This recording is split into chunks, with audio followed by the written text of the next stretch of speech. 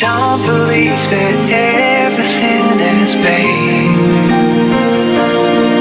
From moments just like this one, cause this one's not the same.